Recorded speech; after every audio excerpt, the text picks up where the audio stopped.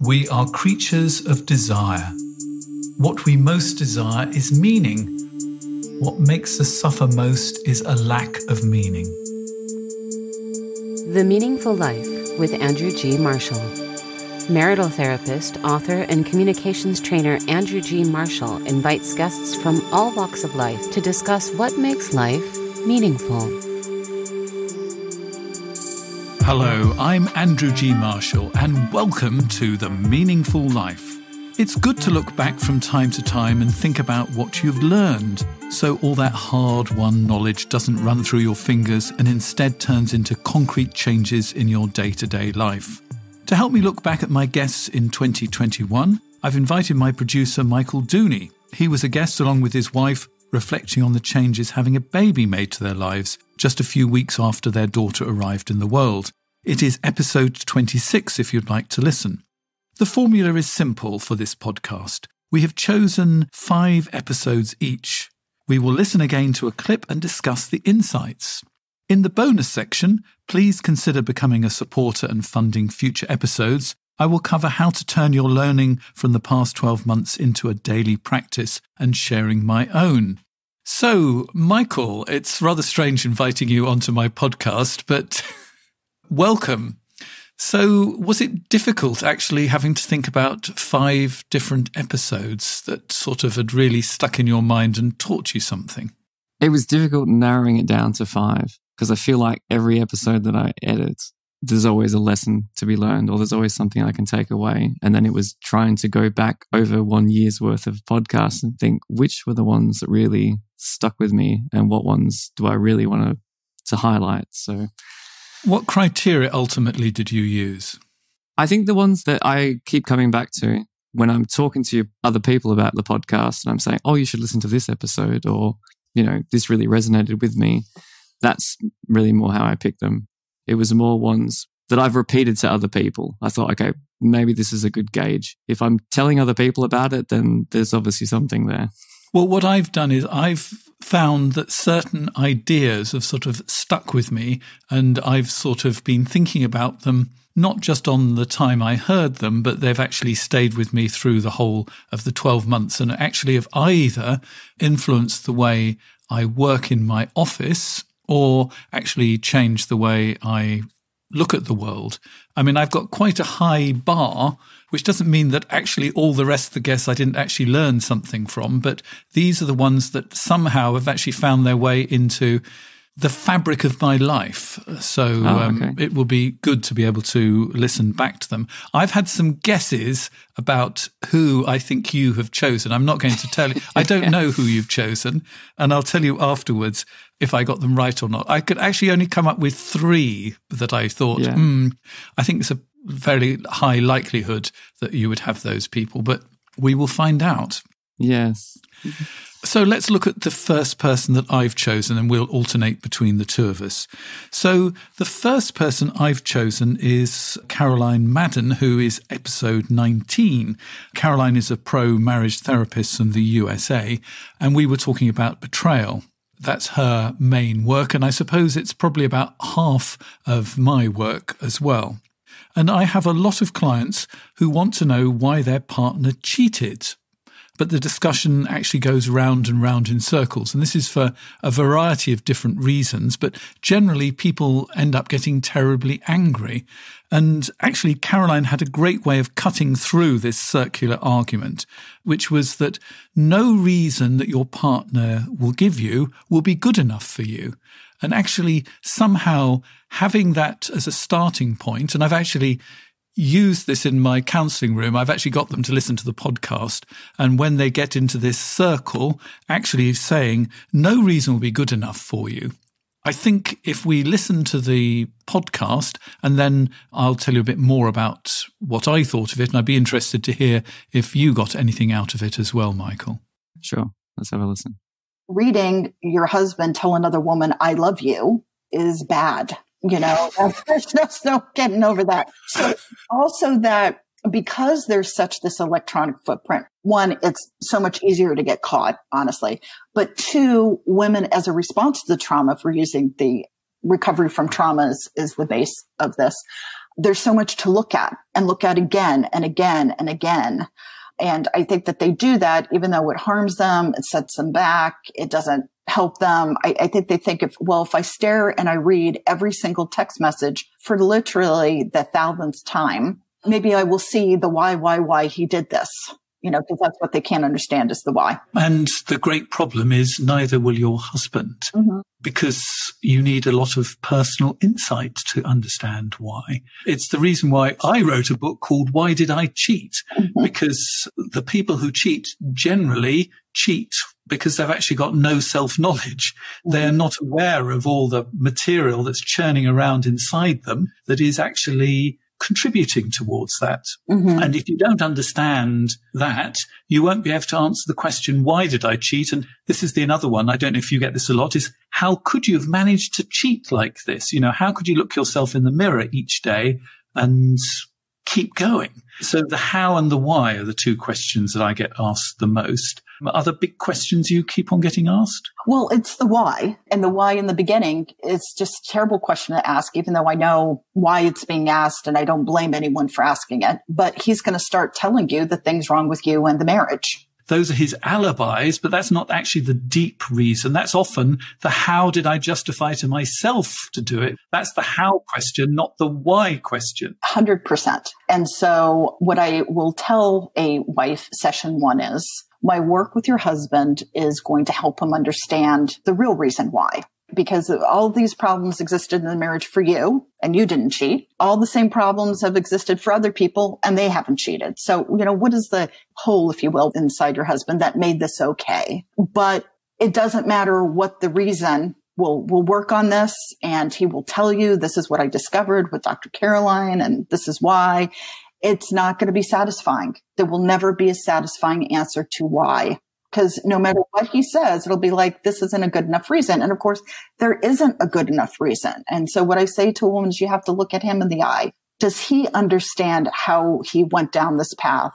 Does he understand his triggers? Does it make sense to him how he fell? And then trust that he knows because the why is never going to be satisfying. I think there is something useful about the why because if you do find out the why, so for example, it's childhood trauma, for example, say you know, he saw his mother be incredibly hurt. And from that moment onwards, he did everything in his power to make women happy. And he's been doing everything in his power to make you happy. But actually, he's forgotten that he actually has needs as well. And it, he might not want to spend the weekend with your mother, for example. And if he could actually say that rather than burying all of that stuff, you could have more honest conversations and there wouldn't be resentment building up. Now, of course, that doesn't justify the reason for having it. But if you want to stay a good marriage, then you need to solve some of the things that are contributing to the underlying issues. And if you don't know what the underlying issues are, you can't have a, a new, better marriage. So I do think the question why can be helpful, but it's not a magic answer for making you feel better. Oh, he did it for this reason. That's useful information, but it's not, it's not the magic answer to feel okay again. Right. It won't be satisfying. You won't hear it and say, Oh, God, now I totally get why you cheated.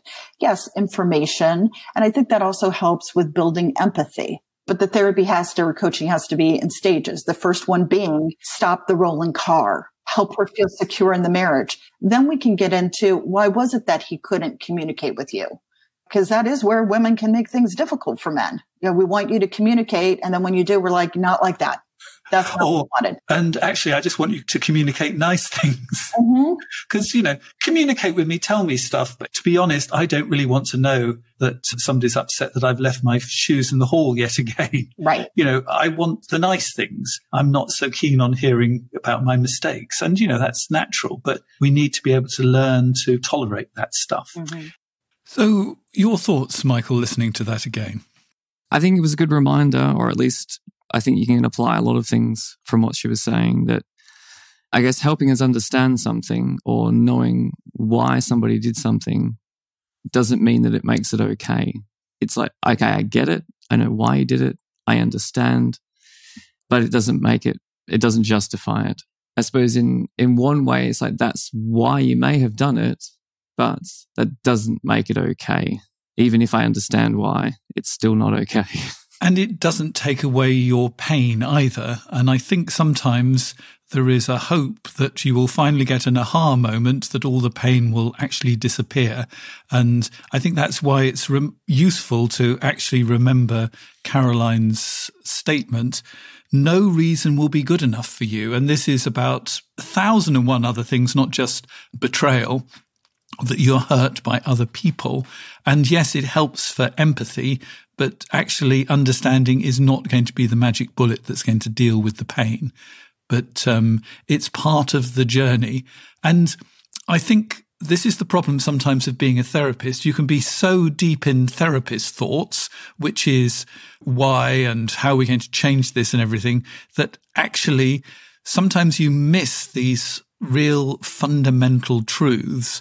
And that's why I was so grateful for Caroline telling me that and reminding me again. So it's right up in my forehead and possibly stamped right across it that no reason will be good enough for you. And then we cannot go into that churning hole. So it, this isn't going to be good enough, but it actually is going to be helpful for your partner. So this is for him or for her, but once he or she understands the reason, it doesn't actually give a free pass, but it actually helps you on your journey to understanding and changing. So, thank you, Caroline, for being a guest and a supporter of The Meaningful Life. I will be forever grateful for that. So, what's your first choice, Michael? Okay, so I'm going to try to put them in order that they at least somehow respond to the ones that you've picked. So, my first one of my five is Elaine Dundon Stop Being a Prisoner of Your Thoughts. Mm. And you both spoke a lot about Viktor Frankl and the man's search for meaning. And this is something that I find comes up a lot actually in, in many of your episodes. And that is that we have the freedom to choose our attitude. And although we don't necessarily have control over what happens to us and around us, we do have control over how we respond to that. Mm, very profound.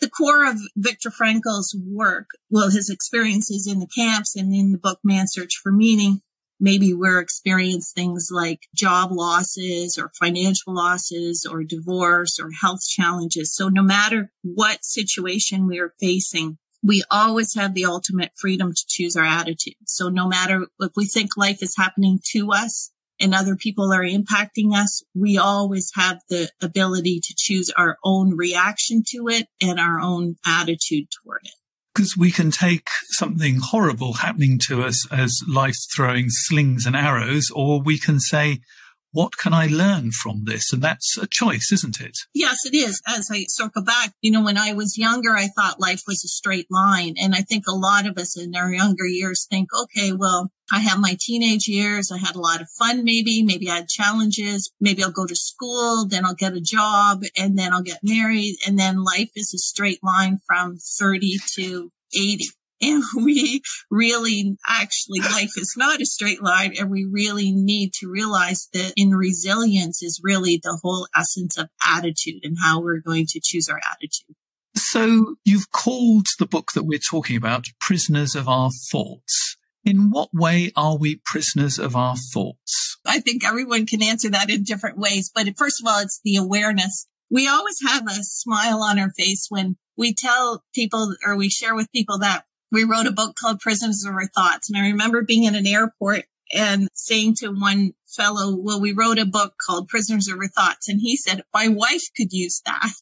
And I thought, I thought that is so indicative. It's always someone else who could use this book. So whether it's my spouse or my friend or my sister or my boss or etc., someone else can always use this book. Maybe it's really us that could use a book. Give us an example when you've been a prisoner of your thoughts. You've been limited by your thoughts. Oh, I've been limited.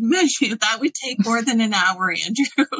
Just one example been, then. I would say in personal relationships is probably the area that I'll say I struggle with and I need to have greater awareness that I have kept people as a prisoner of my thoughts in the fact that I think that they're always going to act or react the way I think they're going to based on my view of who they are and who they've been in the past versus realizing that people evolve, people learn, people change the way they approach life. And so I know myself, I'm not the same person I was when I was a teenager or in my 30s or 40s of how I react because I've learned through experiences and to hold other people prisoner of my thoughts because they've reacted one way 20 years ago doesn't mean they're going to react the same way. And it's amazing how our thoughts can limit us. I'm just thinking at this precise moment of my struggle with learning the German language because I live in Berlin. And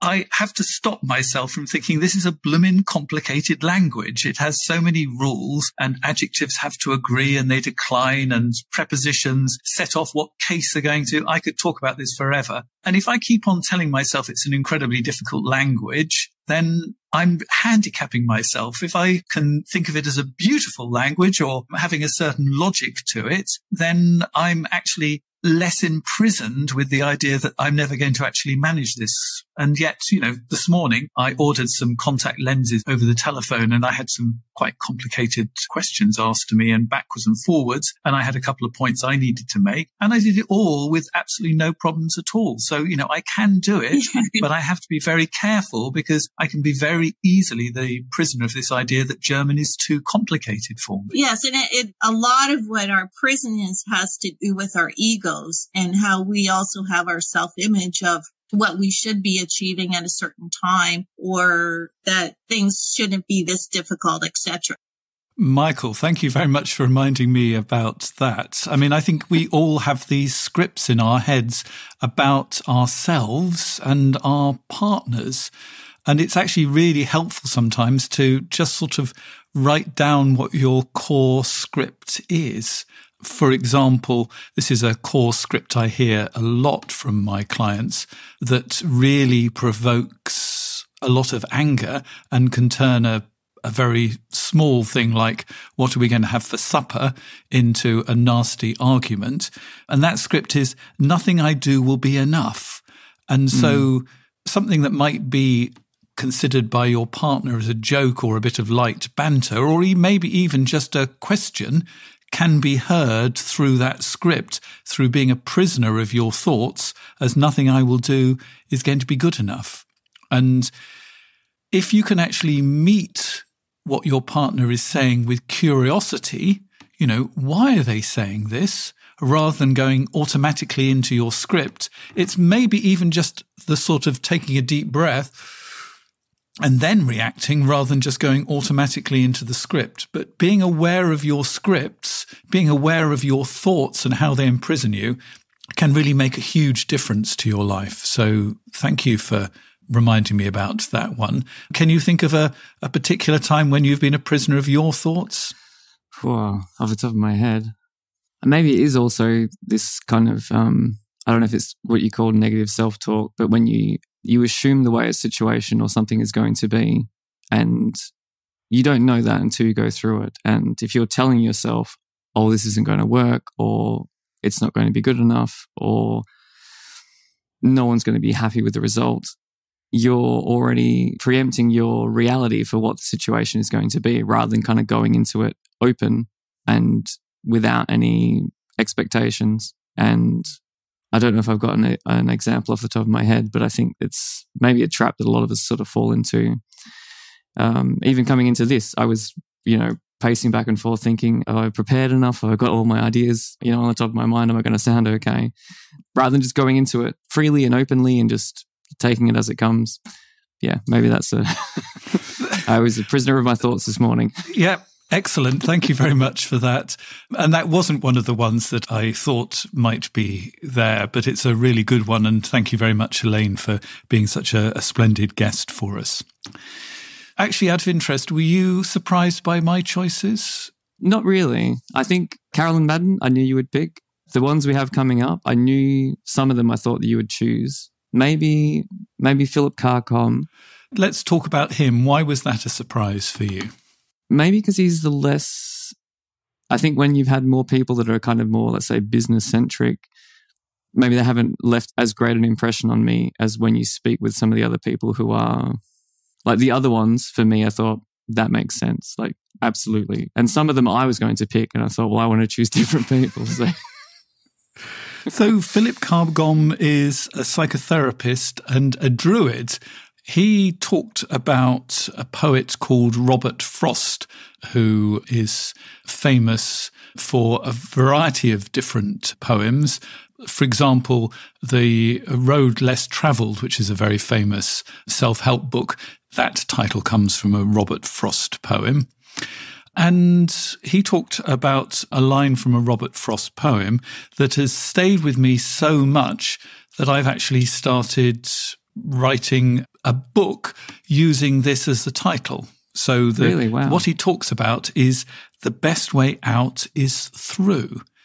Yes, exactly. And, and it was reading a, a, sort of line from Robert Frost, the poet, who said that it was just the way out is the way through.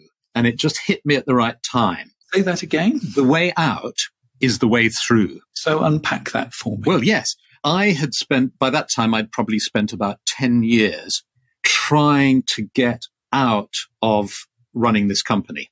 So dinner guests would always be surprised when I offered them the company. I'd say, look, you know, would you like to run a travel company? You know, just give me 20% or something and I'll be quite happy with that. And would you like the travel company or coffee? yes, yes, that's right. And absolutely. So I spent about 10 years trying to sort of slip out the back door, I suppose, of trying to sort of offload this company. And then this realization dawned on me that the way out is the way through and that what I should do is I should embrace it and completely engage in it and basically build it up even more to a point where I could sell it successfully. There are various hoops to go through of getting ABTA licenses and IATA licenses and getting the kind of lease on a building where you, you know the company becomes more valuable because it's got a lease and so on. So I, I went through a, a process that took about three or four years of building it up in a specific way getting more engaged in it in order to then get out successfully, which I did. I sold it to a, a multinational at the end of that process. So let's look at that idea with non businessy sort of kind of things like emotional things. How can the way out be through in that? Commonly, what we do when we're in a difficult relationship or a difficult exchange, for many of us, is to use the mechanism of denial. So, you know, you just won't listen to the other person. You won't take on board the attack or the perceived attack, the criticism and dissociate in some ways. And it's very hard to go against this because that's a very natural response to difficulty in interpersonal relationships. But if one can actually engage with the person and with the problem and really listen and really take it on board, and allow oneself to feel the pain that that might bring, then I think the chances of coming through it or resolving it or if not resolving it. It sort of almost becomes a, a, joint decision that the relationship can't go any further. If you've really talked it through, hmm. both of you decide, actually, this is madness. We're not going to make each other happy rather than one person sort of unilaterally deciding it, walking out the door and the other person is left saying, hang on, what happened? Why are you going? Hmm. And by going through and really engaging with the problem, trying to solve it, but you know, trying to solve it, you realize just how big the problem is, and neither of you actually have got the energy or the desire to transform that relationship. But you can decide together that maybe this isn't working. Exactly. And that process, which we can talk about so easily together now, is of course so difficult in reality.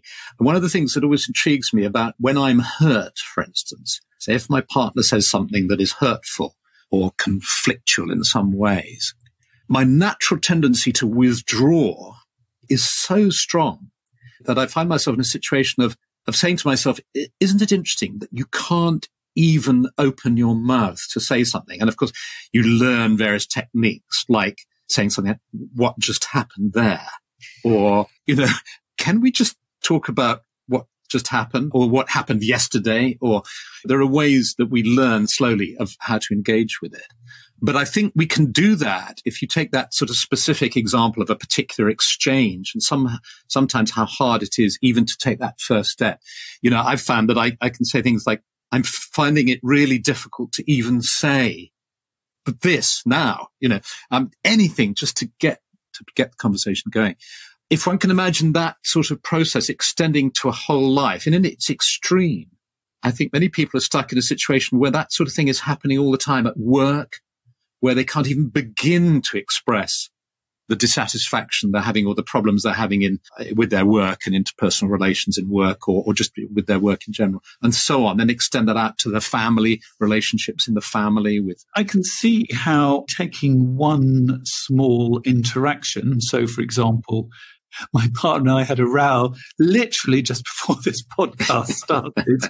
and the tendency will be to put that to one side mm. and try and brush it away because let's be honest, nobody wants to stick with a nasty argument. Mm. But what you're saying is that actually, if we really go through that and get that one solved, it could open up other things that need to be talked about because nearly always arguments are connected to a whole range of other things as well. And you can begin to deal with the bigger picture, but you start with it, you go through in a little keyhole rather than trying to put a big lorry through the issue, which is our sort of tendency. We want to sort of drive a big lorry through it, get it solved once and for all. And probably the keyhole is the most that we can manage. Well, exactly. And of course, isn't it interesting that we can take a one interaction like this or a relationship and, you know, it gets really quite complex because of course, although it's the case, at least in my experience, the case that often engaging with an issue and finding a way to talk about it can help. Sometimes it doesn't help. And you could actually, I suppose, play with Robert Frost's idea and say the way out is sometimes the way round. I mean, sometimes you know, because the risk, of course, is that it then becomes a confrontation and it becomes bigger than it needs to be. So it's almost like in these situations, I find that the challenge is, or the question is, is this a moment in which the way out is the way through and I need to bring up this issue and say, Hey, look, can we talk about this? Because what you just said, I found really difficult. Or is this actually a moment where it's best to just leave it because it's like the weather and the cloud is going to go and it'll be better talking about it tomorrow or whatever. So we're always looking for sort of rules and it's never quite as simple as that because it's a constantly changing picture. So, Michael, which are you? Are you somebody who wants to go through or would you rather go round? I think I've probably been a go around person. I'm a bit conflict avoidant, but I'm getting better. And actually, if you have something which comes up over and over again, that's probably a time to go through rather than round eventually. And I've got sort of five ideas to help you go through rather than round. And maybe the first one is the most important one. And that is that both of you are right even though you see things very differently, from where you're standing, you are right. And it's perfectly possible for two people to both be right. And actually competing for your version of reality to be the ultimate one or your pain to be more important actually turns the whole thing actually toxic. So that idea that both of you are right, generally, if you look deeper into the dilemma, and so you go from the shoes in the hallway into something actually deeper rather than just what is the surface thing. So both of you are right. Look deeper into the dilemma. The next one is stay in the crucible of conflict for a bit longer because generally we want to get out and we want to stop this argument. And sometimes just actually staying in it another five minutes or even another 30 seconds if it's something really difficult can make a big difference because probably you're coming out at exactly the same point every time. And that is actually fueling either your partner's resentment or their anger. The other thing I would do is to stop pushing your solution. So let's go back to the shoes in the hallway. We need to get a cupboard to put them in there it might be a perfectly good solution, but actually, if you push your solution, you become like the parent and your partner is the child. And that is never a good interaction. Whereas if you actually stay with it long enough, it could be that you'll come up with a, a third solution that will actually be better because both of you have bought into it rather than one person careering off and buying the shoe cupboard. And my final thought would be find the similarities and build on them. So, for example, we both want a, a nice house. We both want not to trip over things in the night, sort of kind of thing, and actually build on those rather than competing for whose solution and whose pain is the greatest. What have you chosen next, Michael? Okay, so my next one is Hannah Martin How to Believe in Yourself and Start Your Own Business. My gosh, that's a surprise. Tell yeah. me about why you chose that one. Part of the reason I chose this one is because she spoke a lot about mothers going back into the workforce and having become a parent this year. And I guess everything that comes with that. I've, maybe some of the episodes that spoke about motherhood, parenting, societal roles and expectations, different aspects of that that kind of cropped up throughout the episodes over this year, maybe stuck with me a bit more than others. So that's why Hannah Martin's episode I've often come back to that one, even thinking having a baby is a pause and then you kind of have time to think and reflect. Do I like what I'm doing? Do I want to go back to my job? And there were a few points that I thought I could talk about in this episode, but the one that I want to highlight, it was towards the end of the episode actually. It was about kind of faking it till you make it, or the way that you put it was that you have to dream it before you can do it. In terms of how we see ourselves. There's something I used to do as a teenager that I thought I had magic powers. When I, Ooh. yes. and when I qualified as a hypnotherapist, I suddenly realized, oh, I've been naturally doing this thing that I do in hypnotherapy with people. So when I was young, I was really shy really quiet. I had very poor social. I I have ADHD, so like many girls with ADHD, I, I did I didn't have social skills, very good social as a child. So I didn't have many friends. I really struggled, and I was very short for my age. I had hand me down clothes. We were poor. I really I was not the child anyone aspired to be friends with at school. So I came into my teenage years with this. I didn't know how to didn't have friends, I didn't know how to make them, you know, and I had this, I see other women around me or other people around me and think, I wish I was like her. I wish, you know, I was popular and people liked me and I found these things easy. So in my head, I made an alter ego and I had this other character that had a life and she was very like me, but she was all the things I wasn't. What was she called? She was called Hannah as well, but she had a different surname. So, so she, she was like me, but slightly different. You know, in my head, she looked like Kate Moss and, and she, and she was, you know, very different, but there were still connections to me. You know, she still had my feelings, but she manifested in a rather different way. And I lived with this character. She's still alive in my head now. I still, still have her. I lived there for years. You know, I spent a lot of time on my own because I didn't have any friends. And, and I would just cycle around the villages. I grew up in the country. And in my head, I was living this, this character's life. Every night when I went to bed, I'd fall asleep with these scenarios. And then a really weird thing happened as I hit my late teens and I went to art college and I met other freaks like me, was that my life, in my life, things I would dream about in this alternative Hannah's world would come true in my actual life. It, obviously, you know, I wasn't Kate Moss and I didn't hang out with rock stars, but I, I did go on tour with well-known, but I, you know, I, I, I kind of entered the world. And like one day I thought, this is really freaky. I wonder I had the power to make things come true. And I, I, also changed as well. I started to become much more like this other Hannah. I became more confident. I learned social skills. I started to get friends. I traveled. I did things that were so that the Hannah that I had grown up with would never have done those things. Wanted to, but would never have done them. Now looking back, I was basically rewiring my brain because my brain can't tell the difference between fantasy and reality. And I was just rewiring all those parts of my brain. And I spent long enough imagining I was this Hannah that I actually rewired my brain to become her.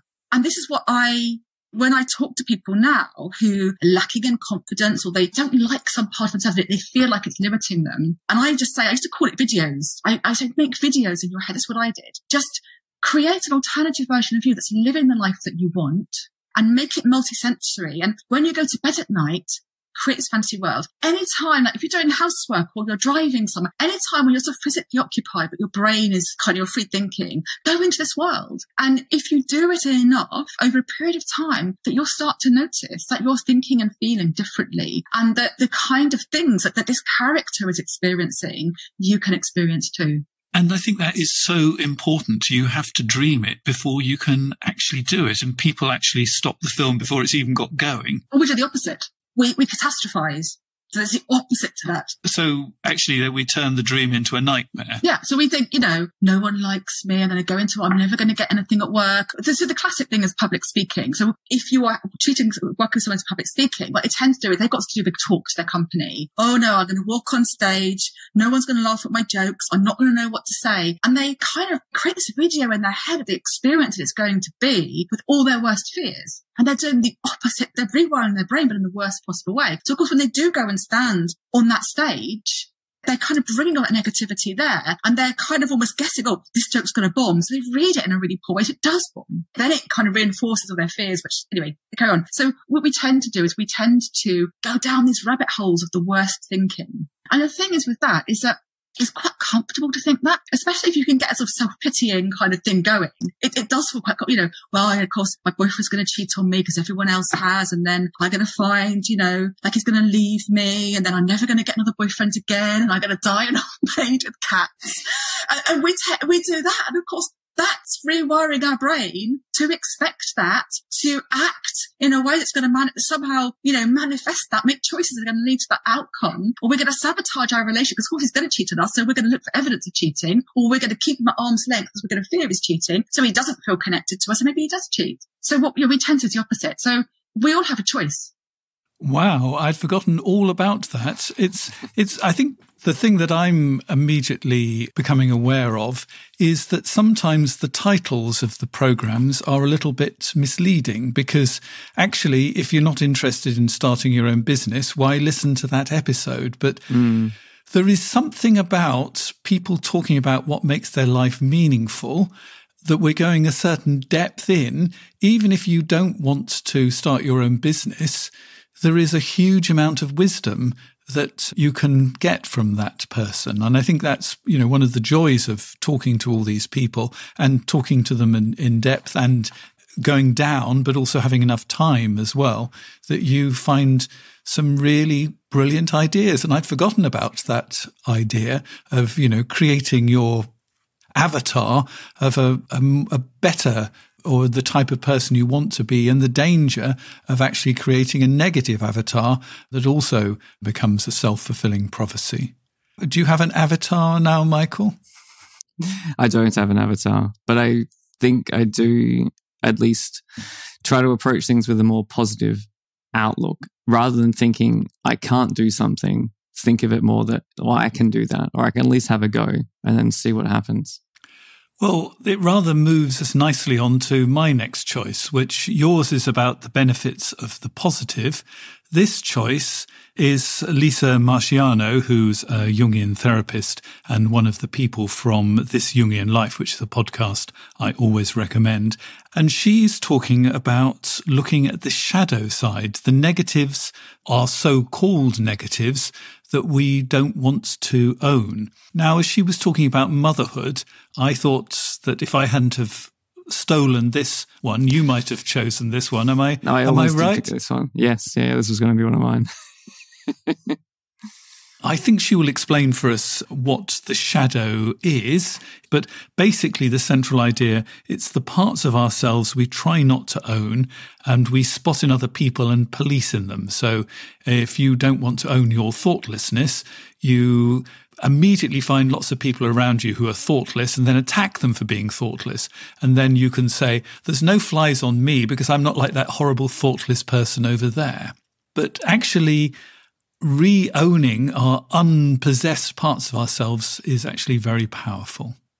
I have a whole chapter in the book on rage. I think you need one, maybe two chapters. Well, there's three chapters about sort of the shadow, and one of those is about rage in particular.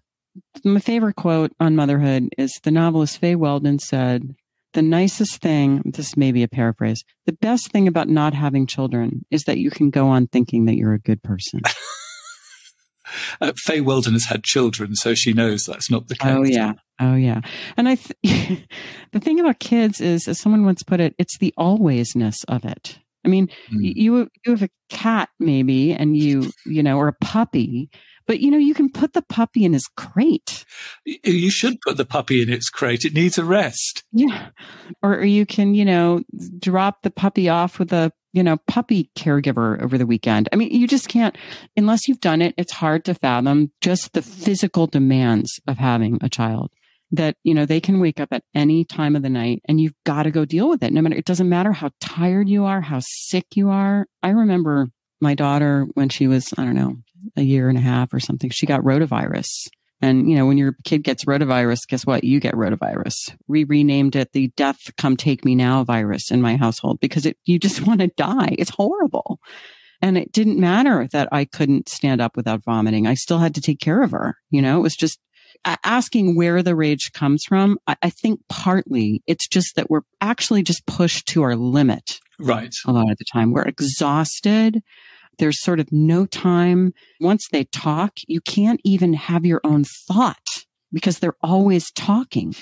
So you can't even just be in your own head you know, and it's the intensity of it. I think if there's any capacity for rage and there's capacity for rage in all of us, you're going to experience that. And this is partly why it's a real opportunity for psychological growth because you may have thought, Oh, I, you know, I'm not capable of rage. I'm not capable of sadism.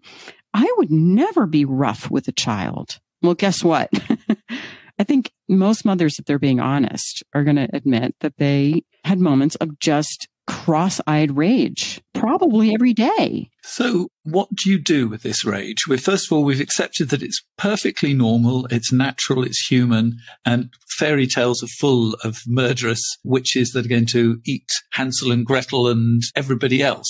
So, it's perfectly normal, it's okay. What's the next thing we do with it? There's a great fairy tale that I use in the book to talk about rage, and it's called The Horned Women. It's an Irish fairy tale, and it's about this woman who's up late at night working, and there's a knock at the door. And one by one, these witches come in. They have the first witch has one horn, the second witch has two horns, and on like that. And there's 12 of them. Ooh. She can't cry out. She has to do their bidding. And they make her drain the children's blood and make a cake. yeah, it's really really dark. Can't see the Disney version of this any day soon. no, I don't think that's on their list. But she gets help from the spirit of the well. They tell her to go get water. And so she's down at the well and the well helps her. And wells in Ireland are sacred places. They're portals to the realm of the sacred feminine. And so there's a lot of kind of numinosity and wisdom there. And with the advice from the well, she's able to banish the witches and it involves several things. It involves actually feeding some of that cake to her children, which I think says something about sort of metabolizing our rage and then being able to basically apologize. And, you know, people who research infant attachment talk about the importance of repair it's not really so much about never getting angry at your kids as it is about being able to effect a good repair. So if you get angry and you really lose it, the important thing is when you've calmed down a little bit to go back and really make a good repair that probably is an apology and maybe an explanation about, you know, here's what was happening for me, not you made me get so angry, but you know, I'm, I'm so sorry that I yelled at you. I shouldn't have done that. I've been feeling really tired and, you know, I'll, I'll try to do better knowing that you'll probably screw up again, but you're, you're thinking about it. And I'm interested in the well because uh, the well is very deep, isn't it? And mm-hmm. the answers are coming from actually quite deep inside us. Yes. And so there does seem to need to be some sort of contemplation, possibly about your history when it comes to rage. You know, what mm-hmm. was your mother's relationship to rage and your grandmother's relationship to rage? I think that would be quite interesting to I, I really, really like that. I think that that's a perfect kind of extension of the amplification. And Jung actually had sort of a, a, thought about apologies, which is what really matters is that you do exactly what you're talking about. When you've made a mistake, that you take it in and you think really hard about what was going on for me? Why did this happen? Why did I get so provoked by him having a meltdown about there not being enough syrup on the pancake? because it's probably about something extra because mm-hmm. this has got a, an extra force to it. Yes. It's, you know, there's something about, I don't know, not providing or not being perfect or something that mm-hmm. is hooking you in on yeah. This. Yes. Yeah. I think that's really good. So, yeah, so there's contemplation, there's listening to our own deep wisdom, there's being able to, in effect, or repair. But the, the spirit of the well also tells her you have to bar the door. Right. There are these sort of intrapsychic things that we have to do, but then there may be some practices that we need to try to incorporate to just build up a strong enough ego so that we don't we're not constantly lashing out at our kids that we're we're not letting all these random thoughts come in because you know the internet is like a door that is you know we're forever opening and letting all these witches in aren't we? Yes. Yeah that's that's a great image. Yeah that's the internet. So your thoughts as a parent michael well i mean personally i've not had this kind of bubbling up rage yet i'm sure it'll happen but i guess that whole episode i think resonated a lot with me and I think I like the point about not being a parent and believing that you're not capable of certain emotions because until you're kind of faced with that, I think the, how does she put it? The alwaysness of being a parent, like you can't escape it. And I kind of remember speaking about this maybe briefly when you interviewed my wife and I that you don't have the option anymore to check out. Like you have to be there. They need you 100% of the time you always have to be available and you have to be ready. And it doesn't matter if you're tired or if you're sick, you just have to be there. And it's a different kind of demand than anything else. And I think the other thing that I've taken on is not only to accept the bits that are unacceptable because the further we push them away, the more likely they are to leap out from behind the door and grab us, is just the power of myths that these stories have been around for forever because they actually speak to some ancient truths. And sometimes actually approaching a problem through the story is a different way of actually looking at something that's going on. And so those stories and those myths are really useful. And I've actually worked with some of my clients where we've actually gone through the stories in the book that um, Lisa has, and she has a whole load of questions to ask yourself at the end of each chapter. And we've gone through those together, and they're really powerful. And I really recommend that book. The Meaningful Life with Andrew G. Marshall. Please follow us on Twitter, like us on Facebook, and visit our website, andrewgmarshall.com forward slash podcast, where you can join our supporters club and unlock bonus material and other benefits. So, what have you got next for us then, Michael? Well, it's it's probably not a surprise that I'm going to now go into Philippa Perry. that is, was one of my thoughts that you would go for that one. Yeah, I think like Lisa Marchiano, Philippa was brilliant, and I'm very honoured to have been amongst those three speakers for talking about parenthood. But her episode, What You Wish Your Parents Knew and What Your Children Hope You Learn, taken from the title of her book. I've already taken on a few of the things actually that she discussed in the episode. And well, we'll play the clip and then we can talk a bit more about it. I do believe strongly in trying to find the words for feelings now. Because I think if we don't find the words for our feelings, we don't become the boss of our feelings. They become the boss of us. So when mm. we hmm. find the words for our feelings, then we can contain them. And I think it really helps when you're a parent as well. If you can help to put your child's feelings, a bit like a therapist might have a go at, into words too. So, you know, when the kid is kicking off, it's quite useful to say, you are so angry about that because then they learned that they can verbalize what they're feeling so they don't have to throw the bricks against the wall or whatever it is they're doing. And eventually they learn to put their feelings into words, which helps them to own them and process them and not be overwhelmed by them. So they learn how to manage feelings.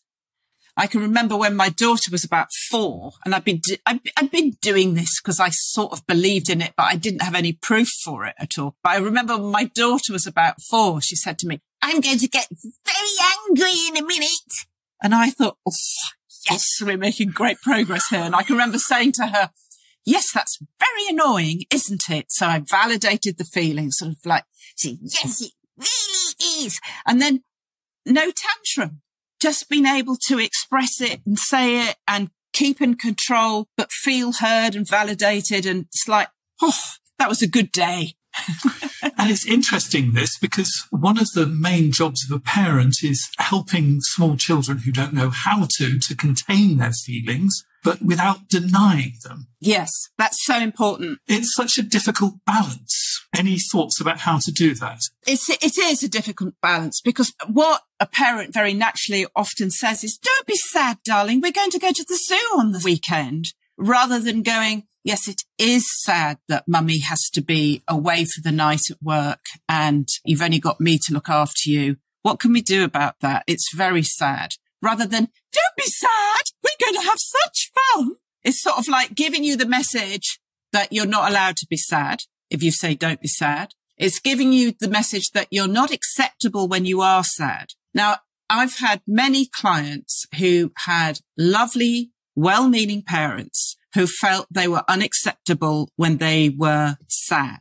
So they push that sadness down. They don't learn how to express it. They don't learn how to put it into words. And before you know where you are, you've got someone with depression because they've got this free floating anxiety or sadness or something that they've never learned to articulate. And if they have tried to articulate, it hasn't been validated. It's been, but we're going to the zoo on Friday or whatever it is. So that you know, it gets pushed back again. So you don't want to repress the feelings. You don't want to distract from the feelings. And the other thing you don't want to do is overreact to them either. That's right. And magnify them. No, that's right. So if your kid goes, I've cut my finger, you don't want to go, ah, we've got to go to hospital. I can't bear the sight of blood. You know, that's really not going to help either. We need to get into this, what I call containing space.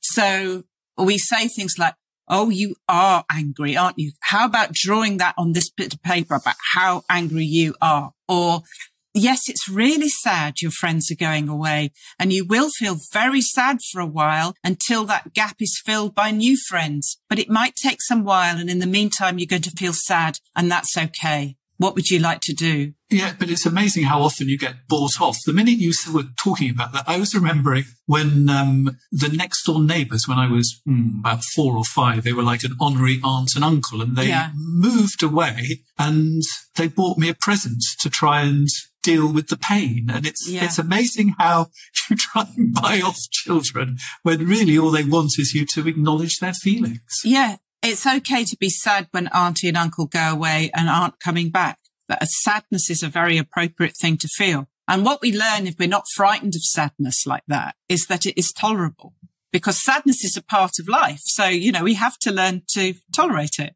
Your comments, Michael? I just think what you pointed out is extremely valuable and super useful as a parent. And I think as a human being, that's identifying feelings, understanding them, and in a sense, owning them is a better way of dealing with them rather than, I guess, avoiding them, repressing them, letting them kind of manifest deep inside and come out in other ways. I think the points that she was making about not amplifying the feelings as well was really good because, like, when our little girl, if she falls over or if she does something, like, "Oh, are you okay?" or "Oh, it's fine," or "How are you?" Not go, "Oh my goodness, are you fallen over?" and like make a big deal out of it because thinking about how we're, I guess, conditioned as children or how we grow up, we don't know how to respond to things. We're taught how to respond to them. And if, if every little thing is somehow the end of the world, then when you're growing up, anything that goes bad is a disaster rather than just thinking, oh, okay, I, I fell over and hurt my knee. It's not the end of the world. I can keep on going rather than thinking, oh, now I need to go to hospital and now I need everybody to come around and help me. And, oh, you poor thing, let's go buy you something new to help make it better for you. It's like, that's okay. And like she said at the end of it, like sadness is a part of life. And the earlier we learn that, the better equipped we are going to be throughout life to deal with that rather than, I don't know, when you get to university or when you get to work and then you realize, oh, you mean everything doesn't go my way all the time? You, you know, you're not going to be able to handle it then. You're going to be a lot better equipped if you can deal with that when you're three or four than when you're 23 or 24. And getting that balance right is so difficult because you don't want to panic when there's a they've fallen over, but you don't want to have the sort of oh you know my limb is broken, but I'm going to soldier on because it's just no, stuff and nonsense. Sort of kind of uh, element. I I've had, very much had that kind of upbringing that you know you didn't go to hospital unless you had a, a broken limb kind of thing. And so I'm afraid to say I'm very bad at going to the doctors. I have to be bullied to go to the doctor. So you can get one of two ways, but um, finding the middle sweet spot is really difficult. And that's why it was really useful to have uh, Philippa's wisdom actually, on facing difficult things, it brings us through to Dr. Kathryn Mannix, who's a palliative care doctor and author of With the End in Mind. And she talks about the importance of talking about death without shying away. Hearing him have that conversation was the first time I heard it. And I'd been through medical school and I realize now being trained to save lives seeing death as a thing that we need to avoid at all costs. And the idea of bedside companionship for people who are inevitably dying and tailoring their experience so that it's the least uncomfortable for them that it can be. And that's really very specific. Some people would rather be more sleepy. Some people will tolerate lots of symptoms to remain as clear minded as they possibly can. So it's not what we think is the best death. It's what they tell us is the best death. Again, how will you know that if you don't have that conversation? So that experience was a complete game changer for me that completely opened my eyes to a different way of being in the presence of the idea of dying as well as being in the presence of death. So you weren't afraid of death. This is what you say. You were in awe of it. Can you tell me what you mean by that? I'd had a little bit of a crisis during medical school when I first got onto the wards and realized that the people who had the relationship with patients that I had hoped I was going to have were not the doctors, were the nurses. I'm going to tell you a story about that later, but carry on. So I found myself very distressed that the relationships that medical students can have with their patients is quite close because we've got lots of time and we're not rushing from one person to another. But then seeing people who I'd clerked in to practice clerking on a hematology ward where in, you know, the early 1980s, treatments for leukemias were not nearly as good as they are now. So many of these people I got to know quite well over a period of weeks to a few months. And that would be from presentation to death for those people. And the nurses were really kind to me and brought me in alongside when they were looking after my patients who were dying, who were not, of course, my patients at all because I was only a student, but they realized that I wanted to be able to make a contribution to their care. And so what they taught me was how to be with people. Whereas what medicine was teaching me was how to do things to people. And it meant that I was able to be alongside people's care during their dying in and out of the room, you know, not mistaking myself for a, an important member of their family, but able to be witnessing the process as it evolved, which was another thing that was coming back to me when I was listening to the conversation with Simone. Yes, I have seen this. I have seen this. And that moment of transformation from alive to not alive anymore always seemed to me to be an awesome thing what is it about us that changes? What is it that means there is a person here and then the person is absent? And it didn't seem to me to be frightening. It seemed to me to be something to postpone until as late on in my own life as I possibly could. I don't mean I was kind of, I, I developed a death wish, but the idea that dying is frightening, I'd already realized that it need not be. But I have never ever got past that sense of awe of being in a room as somebody actually dies. I had that experience when I was in my late 30s. My uh, partner was dying and it was terribly obvious. In fact, it was here in Germany because my partner was German. And when he was ill, he went back to Germany. And the doctor told me sometimes when we stop treating people, they get better. And I sort of looked at him as if he took me for a fool because And so it was not only was it impossible to have that conversation and there was nothing explained to me, but it was actually left up to a nurse a couple of days later to say, look, I think we're coming towards the end now. And so, you know, if you want to tell his family and all those other things, and I could then invite these people round. Uh, without that, I wouldn't have known.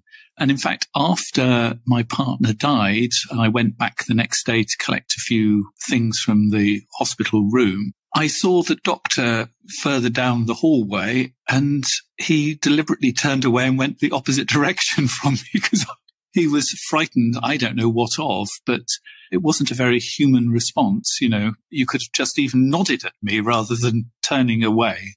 That was in the nineties. And this was in what was called an anthroposophical hospital. So they were much more interested in treating the whole person, but yet they still couldn't have those conversations. I mean, it is quite shocking, really, isn't it?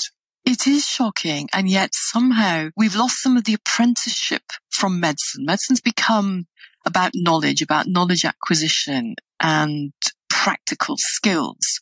But the practical skill of communicating, I think is in danger of drifting. And I think that I could not have learned how to talk about dying by reading it in a textbook. At the very least, I would have needed a video of a master practitioner in action. But actually to sit at that bedside, to literally, as I now reflect on it, sit at their feet mm. and have nothing to offer but attention, you know, to be humbled by the idea of death I think is part of then being able to talk about it. It's not an enemy. It's not an opponent. It simply is. And we are mortal. And can we talk about that?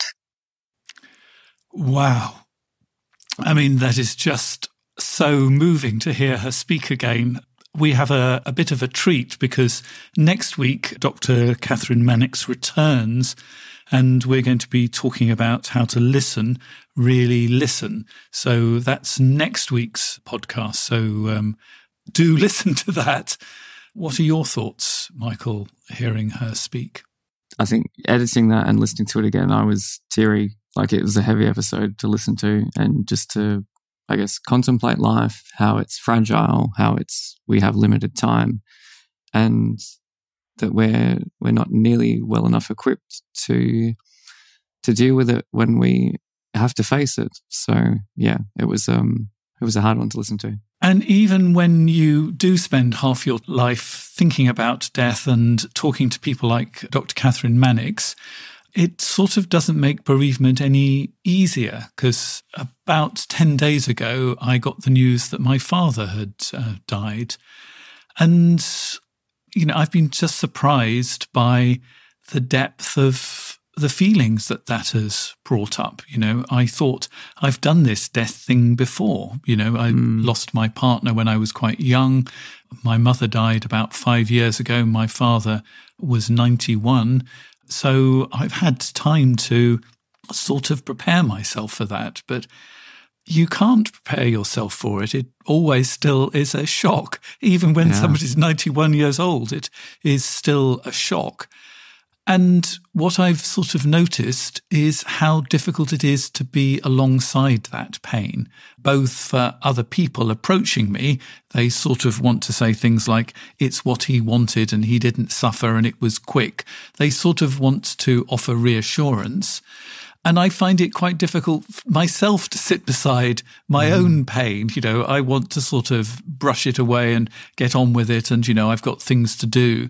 Um, and it's very difficult to be alongside our pain and alongside other people's pain. I mean, this is something that Kathryn talks a lot about in the forthcoming podcast. So I'd recommend listening to that as well. But, we just do not talk enough about death. Sort of even on a podcast called The Meaningful Life, how often do I actually talk about death? Mm. Not that often, really. I have a more than a sneaking suspicion we've got quite a few episodes about grief and loss and everything coming up. So please be uh, patient with me. But I think we, not only I, but we all have lots of um, grief that has been unprocessed that is just sticking around that we need to face. Yeah, absolutely. So let's move on to our next choice, which is from you. What have you chosen?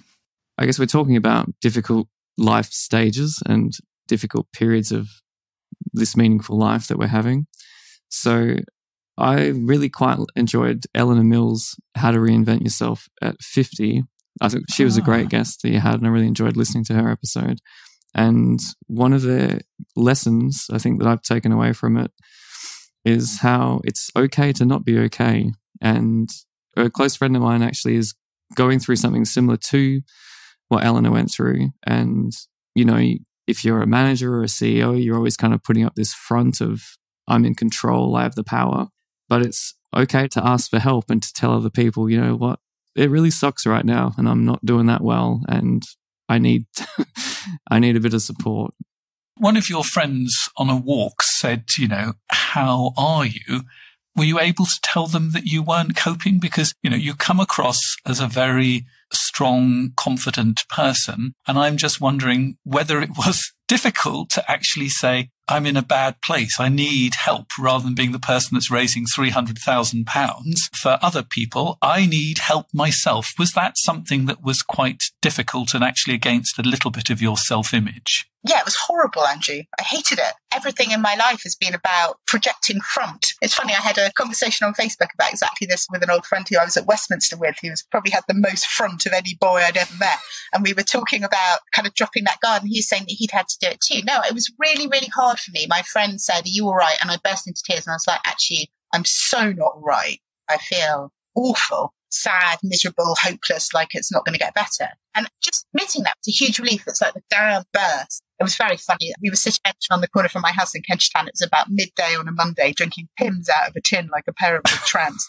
but it was actually a really good moment because I think there's such a kind of like, oh yeah, no, it's fine, and I'm doing this and da da da. But actually, I found that being able to be vulnerable, to say, actually, I'm really not okay, and I don't really know how to deal with this because it's not really me, was actually very freeing. And I also found that people were very kind. And I think sometimes it's easier to be friends with someone if they're in a bit of a low state because you feel very kind of needed. And I think particularly because I usually am quite confident and I'm quite well defended and I can be quite kind of feisty. To have me kind of pathetic and weepy and needy was quite a surprise to quite a lot of people, and they were actually really sweet to me. I kind of discovered that there's a real strength in vulnerability. And then I was very reluctant to write about it. I mean, it was a really horrible thing to kind of admit. I talked to my friend Decca Aikenhead, whose husband died, and she wrote an amazing memoir about losing him and how awful she felt. Hmm. And just before I wrote this very raw piece, which I did for the Telegraph, about what it was like to kind of feel like you were on the scrap heap at 50, I said, oh, I've written this thing. And she said, darling, it's like running outside kind of with wearing no knickers. But what you have to remember, and it feels really, really it makes you feel very vulnerable. But she said, what you have to remember is if you go out and you do that, everyone will come to you. That actually everybody feels like that. And by sharing something which is very true, you massively touch a nerve. And she was completely right because I don't think anything I've ever written has had such an effect. I had thousands of emails and people getting in touch on LinkedIn saying, Thank you for expressing how I feel. I felt so shamed that this is how I felt. I felt so washed out. I felt like I was never going to amount to anything again. And I think the sharing of the vulnerability, but also an optimism that you can come from that point and that things will get better has been, I think, one of the most powerful things we've done on Noon. And actually, the very first interview I did on IGTV, I mean, I've had to learn all sorts of weird things. I'd never done an IGTV live before. It's an Instagram live and all these kind of weird bits of social media. But I did an interview with Raynor Winn, who wrote that book, The Salt Path. Which is, I think, maybe the redemptive tale of midlife. Her husband was diagnosed with a terminal illness. They lost their house because of some awful legal thing. They were homeless. They had absolutely nowhere to go. And they set off to walk the Southwest Coast Path and they walked all the way around Cornwall. And the physical activity made him much better. And just being in the moment and being in nature and seeing the sea every day, they kind of healed themselves. And by the time they got to the end of the path, they kind of had a plan. A friend had lent them a house. Then she wrote this book about it, which has become a huge bestseller. And so there was something redemptive in deciding to walk and not just giving up and going to live in a council flat, but to go on this adventure.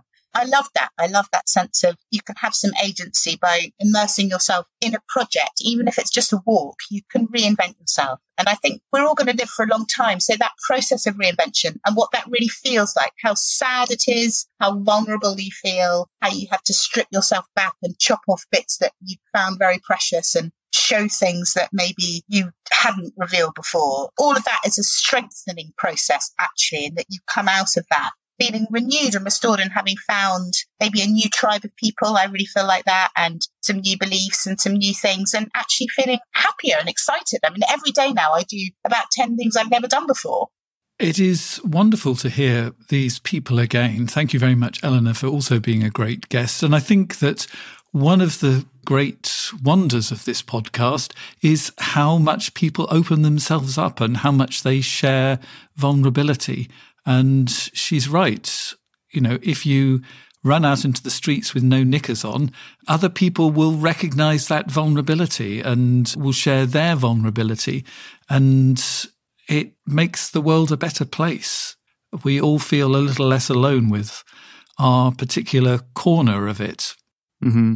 I think what was also interesting, or I guess reassuring, is how she said that people around her were really supportive. And the friend of mine that's going through a similar, let's say, a rough patch, has had the same response actually. They said, like, a lot of their friends and colleagues have also said, Oh, you know, I've been through something similar. It's okay. Like, we're here for you. And they thought, Oh, people are going to see me as weak now. But it, it has been a really, like, people have kind of warmed up to them and said, No, no, look, it's good. Like, we can help you. It's fine. We're in this together. So it's reassuring. So it brings me round to my final guest that I want to return to. And what did I learn from James Hollis, the Jungian therapist? I think everybody who listens to this podcast knows that uh, I recommend his books all the time because he just brings a huge amount of wisdom. So, why did I choose this particular clip? I think that maybe we'll listen to it and then I will explain. So, does resilience look different at 80 than it might have done when you were 40? Yes, I'm 81 now. I spent most of 2020 not only dealing with the pandemic, but with two different cancers. Went through multiple surgeries, radiation, chemo, infusion, uh, suppression shots, et cetera, et cetera. And during that time, I wrote two more books, saw my patients the whole time. I was getting up at 5 a.m. to have radiation at 7 in order to be back by 9 o'clock to uh, start my day. And it wasn't that I was being heroic, I was being very selfish. What I was wanting to do is retain as much of the life I value as I could under the circumstances. And so the motto that I adopted for myself during that time was militant submission, a deliberate oxymoron. I was submitting to the body, which is, after all, part of who we are. I was submitting to the medical regimen and the interruptions to my life, my schedule, and so forth. But I was militant about it. I was going to stay as active as I could manage, not in denial, but in respectful relationship to the need to take care of the body. And I look upon that as one of those many things that we get through. Now, I would have probably seen it quite differently at 40. You're right. I guess at 81, I'm used to getting through more things now than I was even then. You think there's more patience at 80 than 40? Certainly.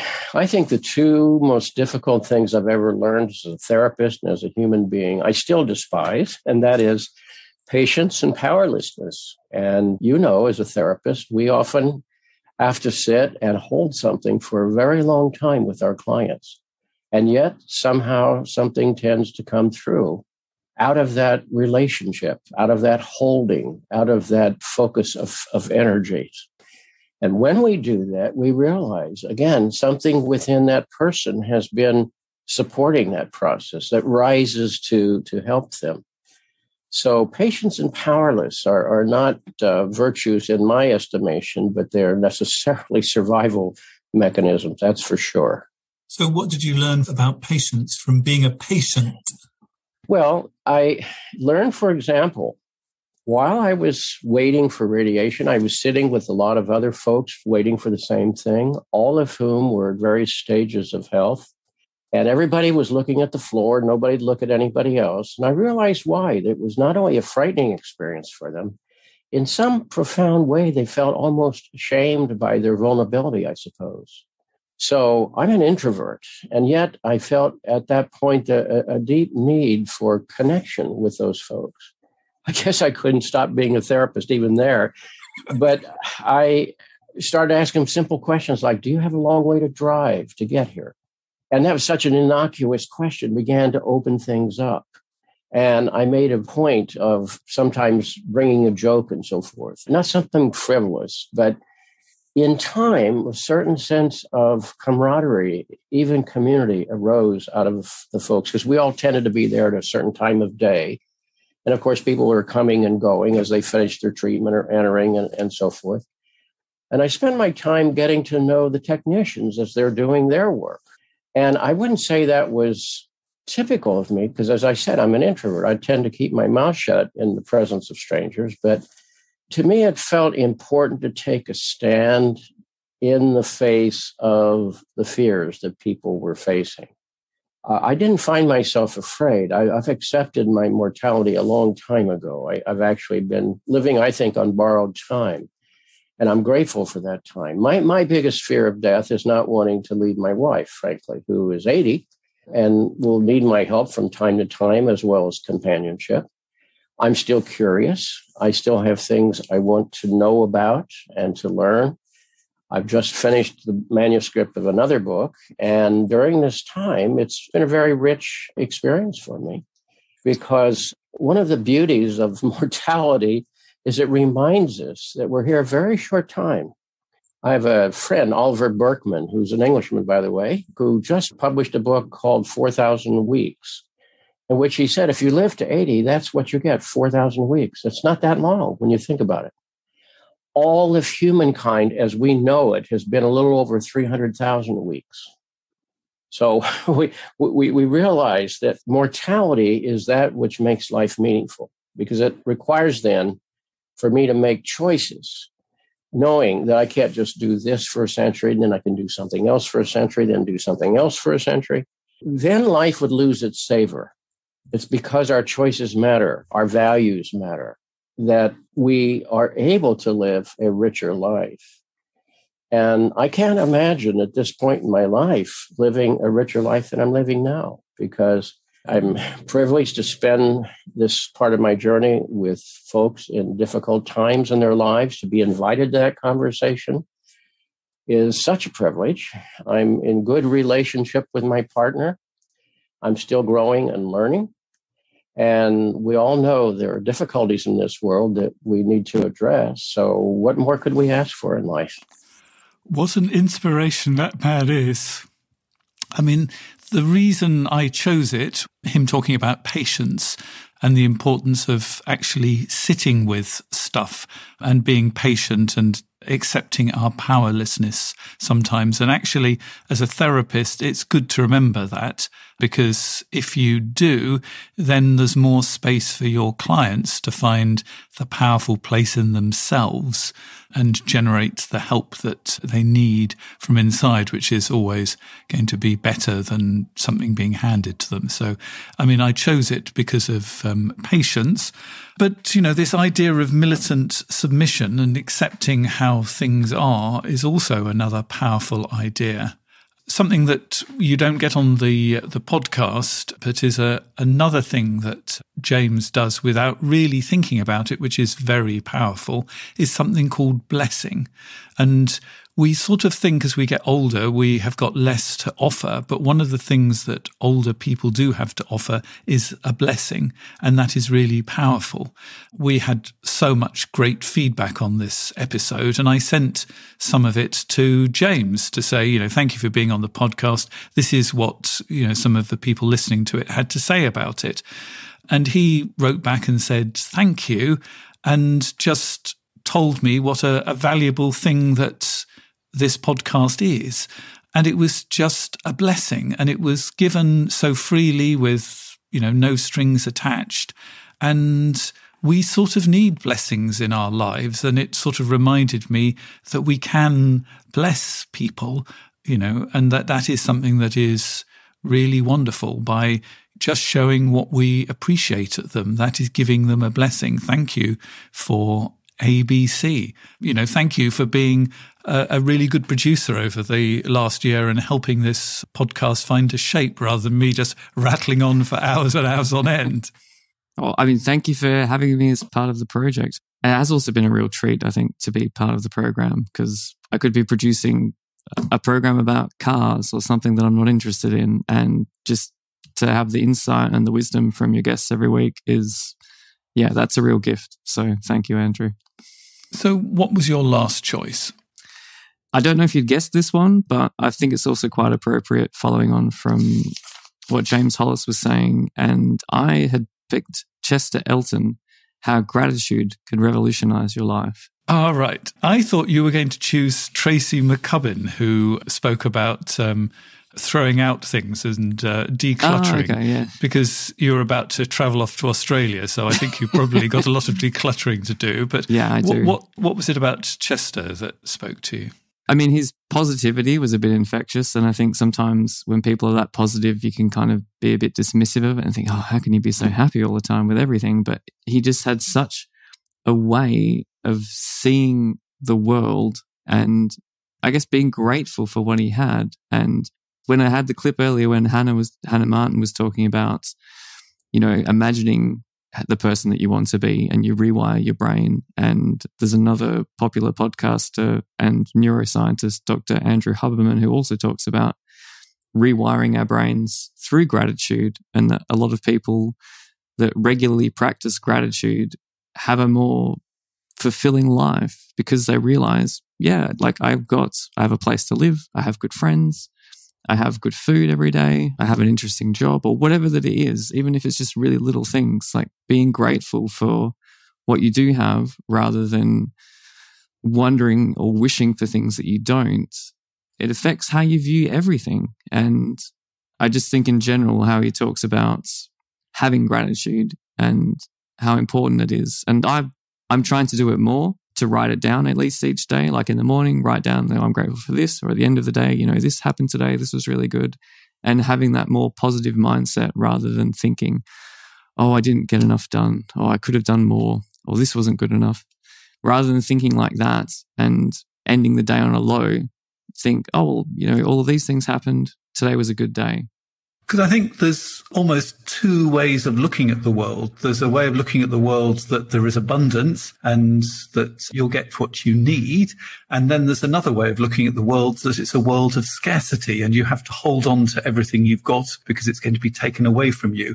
And that very fundamental attitude is going to affect how you respond to gratitude, isn't it? Uh, no question if you have an abundance mentality, giving gratitude and expressing gratitude becomes very easy. If you are of a scarcity mentality, you hold everything close. And I mean everything, not just your money and your resources, your emotions, your friendship, your service. And uh, your world becomes very small when you have a scarcity mentality. When you have an abundance mentality, and I would say an, a spirit of gratitude, the world opens up and becomes a marvelous place of friendship and engagement and opportunity. And so if somebody is suddenly thinking, oh, actually, I think I've most probably got the scarcity rather than the abundance way of looking at the world, have you got any suggestions of how they might challenge that scarcity? I do. Some simple little things. I, I love tradition. You know, I, I, love that you can set up triggers, I like to call them, that remind you of how fortunate you are. My wife is wonderful about this. Depending on the season, she'll decorate in a meaningful way. We've, we've got simple uh, traditions at the dinner table. For example, when we have the kids over, we say, look, there are three questions you need to answer at the dinner table. One is to tell us about the best part of your day. So again, that abundance mentality. I've had something good happens, hopefully, in every day. Two, tell us about someone you're grateful for who's not at the table. And thirdly, express your gratitude for somebody at the table who hasn't been thanked yet. And it creates this wonderful abundance of, of giving. You know, you get to talk about your day. You get to talk about somebody that helped you during the day at work or at school. And, and you get to express your gratitude for someone at the table. I love that trigger. We have a tradition, my wife and I, at the end of the day, we say, no matter where we are in the world, we, we try to connect and we say, what are your three? And we say, What are three things you're grateful for today? And you know what's really wonderful is it's often more than three things. You start to think about your day, an interaction you had. And, you know, uh, we've got two wonderful grandkids that live three blocks away. We see them all the time. And, and it's, it's a lovely way to end the day. Now, research has shown that when you end your day with that kind of thought pattern, the stimuli and whatnot helps you to relax. It lowers your anxiety. It, you'll, you'll sleep a little better. Your, your relationships become a little deeper because you're not beating yourself up on all the things you did wrong. You know, let's face it, as, as humans, we remember every mistake we ever made. We discount every success we've ever had, right? And and it's we've got it we've got it backwards. And you're laughing because you know it's true, right? You you talk to athletes, they'll remember every shot they missed and celebrate a, a few they made. So change that, flip it upside down. And I think one of the things that I found really helpful is set up little traditions, little triggers. Not only at the end of the day do my wife and I do that, the beginning of every day I write down five things that I'm grateful for. When my feet hit the floor in the morning, I have a little mantra and I say, today, be kind, be grateful, and be of service. Because part of that abundance mentality is serving other people, not taking, giving. I like that. Just repeat your mantra again for me. Be kind, be grateful, and be of service. Well, that rather leads me on nicely to what we're going to be doing in the bonus material, which is we're going to look at practice, how to turn some of these um, things that you've learned over the last 12 months and what we've learned over the last 12 months into um, something that goes from, you know, something that you're going, ah, oh, yes, in the podcast into actually turning it into something practical you can do. So thank you very much, Michael, for those. I love the one, the dinner table conversation. What's been the best part of your day? Someone you're grateful to, not at the table, and express gratitude to somebody who hasn't already been thanked around the table. I think that is um, really um, beautiful. So, we've got lots of great things coming up on the podcast. We're going to be returning to the subject of infidelity and betrayal again soon. And next week, we're going to be talking to Dr. Kathryn Mannix about the importance of listening. Those are all great things. I must say thank you very much to Michael as well for being with me today and uh, helping me look back over the year. And this is not where the conversation ends if you'd like to support us in 2022 because we need your support. This costs money, and we would love you to become part of our supportive family. You don't only get that warm glow of knowing that I will be eternally grateful to you which I'm sure is worth a huge amount to you, but you also get to hear the bonus material because every time there is extra material, and our plan is to put more and more into that bonus extra material. And if you'd like to find out how to become a supporter, here come the details. You've been listening to The Meaningful Life with Andrew G. Marshall. You can follow Andrew on Twitter, like him on Facebook, and please leave a review wherever you consume your podcasts. Making, editing, and distributing The Meaningful Life comes with substantial costs, and we'd like to ask for your help. Visit our website, andrewgmarshall.com forward slash podcast, where you can join our supporters club and unlock bonus material for every program, send in a letter to be discussed by Andrew and his guests, and join a community of other people seeking to make their life meaningful. At the gold level, you get even more benefits.